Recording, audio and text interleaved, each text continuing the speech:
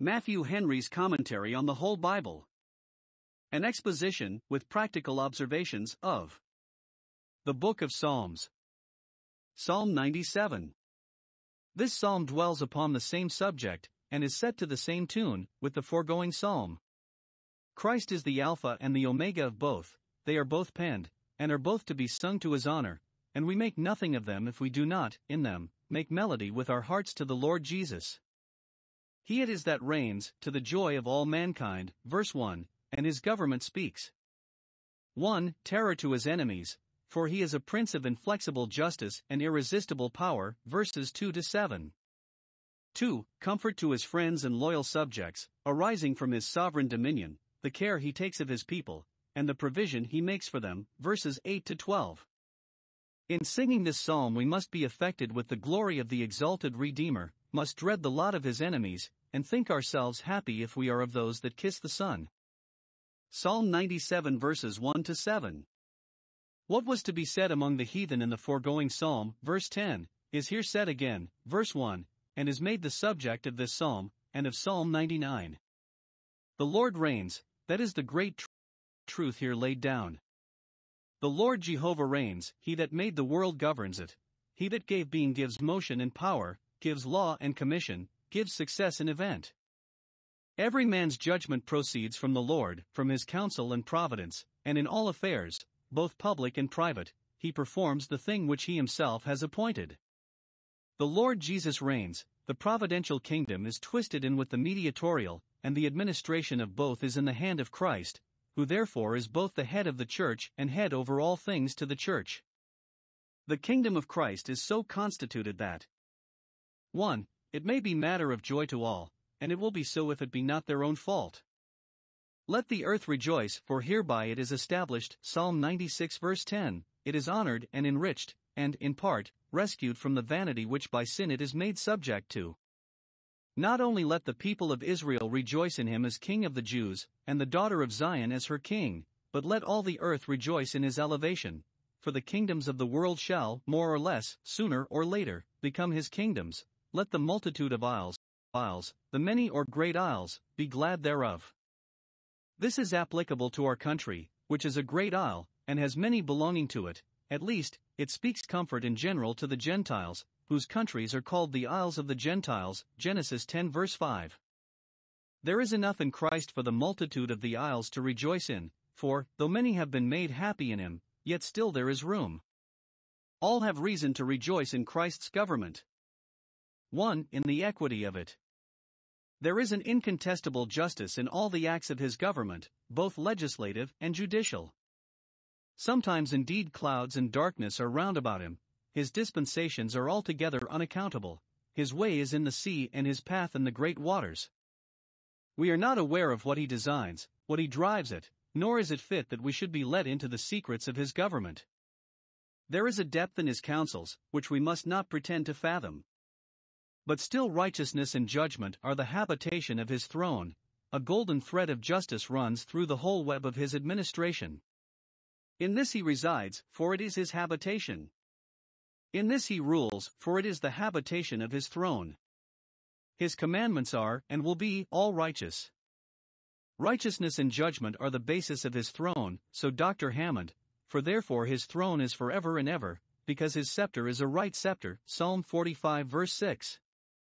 The throne is established in righteousness.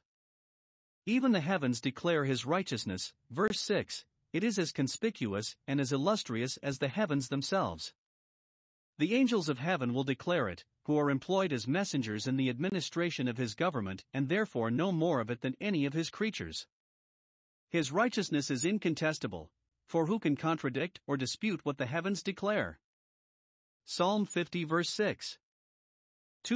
2. In the extent of it in the upper and lower world. 1.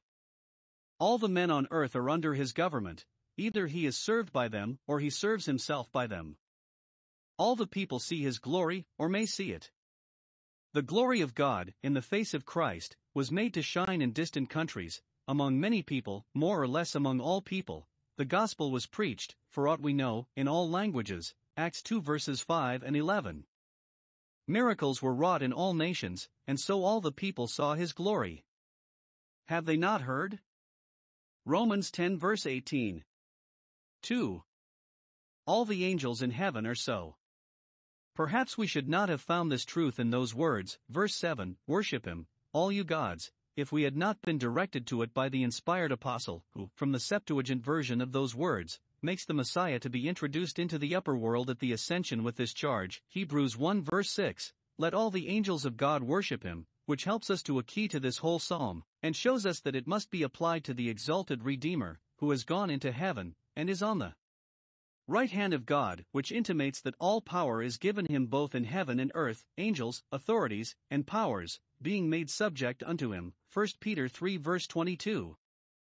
This speaks the honor of Christ, that he has such worshippers, and the honor of all good Christians, that they have such fellow worshippers. 2. Christ's government, though it may be matter of joy to all, will yet be matter of terror to some, and it is their own fault that it is so. Verses 3 to 5 and 7. Observe 1. When the kingdom of Christ was to be set up in the world, after his ascension, it would meet with many enemies, and much opposition would be given to it. He that reigns, to the joy of the whole earth, yet, as he has his subjects, so he has his enemies, verse 3, that not only will not have him to reign over them, them, but would not have him to reign at all, that not only will not enter into the kingdom of heaven themselves, but do all they can to hinder those that are entering. Matthew 23 verse 13. This was fulfilled in the enmity of the unbelieving Jews to the gospel of Christ, and the violent persecution which in all places they stirred up against the preachers and professors of it. These enemies are here called hills, verse 5, for their height and strength and immovable obstinacy. It was the princes of this world that crucified the Lord of glory, 1 Corinthians 2 verse 8, Psalm 2 verse 2. 2. The opposition which the Jews gave to the setting up of Christ's kingdom turned to their own ruin. Their persecuting the apostles, and forbidding them to speak to the Gentiles, filled up their sin, and brought wrath upon them to the uttermost. 1 Thessalonians 2 verses 15 and 16. That wrath is here compared. 1. To consuming fire which goes before him, and burns up his enemies, that have made themselves like chaff and stubble, and have set the briars and thorns before him in battle. Isaiah 27 verse 4. This fire of divine wrath will not only burn the rubbish upon the hills, but will even melt the hills themselves like wax. Verse 5. When our God appears as a consuming fire, even rocks will be wax before him. The most resolute and daring opposition will be baffled at the presence of the Lord. His very presence is enough to shame and sink it, for he is the Lord of the whole earth, by whom all the children of men are manageable, and to whom they are accountable.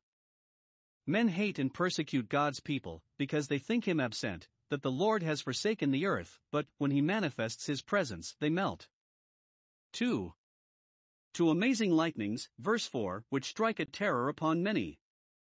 The judgments God brought upon the enemies of Christ, Christ's kingdom were such as all the world took notice of with terror, the earth saw and trembled, and the ears of all that heard were made to tingle. This was fulfilled in the destruction of Jerusalem and the Jewish nation by the Romans, about forty years after Christ's resurrection, which, like fire, wholly destroyed that people, and, like lightning, astonished all their neighbors. Deuteronomy 29 verse 24. But the heavens declare God's righteousness in it, and all the people, to this day, see his glory, in those lasting monuments of his justice, the scattered Jews. 3. Idolaters also would be put to confusion by the setting up of Christ's kingdom. Verse 7 Confounded be all those who serve graven images, the Gentile world, who did service to those that by nature are no gods. Galatians 4 verse 8, who boasted themselves of idols as their protectors and benefactors. Did those that served idols boast of them, and shall the servants of the living God distrust him, or be ashamed of him? Let those be ashamed that serve graven images. 1. This is a prayer for the conversion of the Gentiles, that those who have been so long serving dumb idols may be convinced of their error, ashamed of their folly, and may, by the power of Christ's gospel, be brought to serve the only living and true God, and may be as much ashamed of their idols as ever they were proud of them. See Isaiah 2 verses 20 and 21. 2. This is a prophecy of the ruin of those that would not be reformed, and reclaimed from their idolatry, they shall be confounded by the destruction of paganism in the Roman Empire, which was fulfilled about 300 years after Christ. so much to the terror of idolaters that some think it was the revolution under Constantine that made even the mighty men say to the rocks, Fall on us and hide us. Revelation 6 verses 15 and 16. This prayer and prophecy are still in force against anti Christian idolaters, who may here read their doom, confounded be all those that worship graven images. Verse 7. See Jeremiah 48 verse 13. Psalm 97 verses 8 to 12.